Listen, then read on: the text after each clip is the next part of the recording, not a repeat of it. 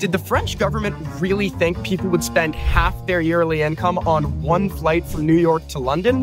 Why, yes. Yes, they did.